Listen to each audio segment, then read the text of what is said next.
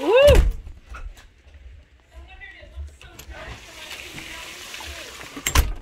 We can only open one door at a time. Go ahead. Yeah.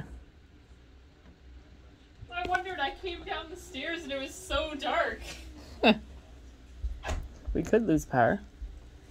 Oh, yeah, we were out of power at the school for like an hour yesterday. Although I think it's the school's fault though, they they blew a fuse or something. Oh my gosh, my feet are freezing.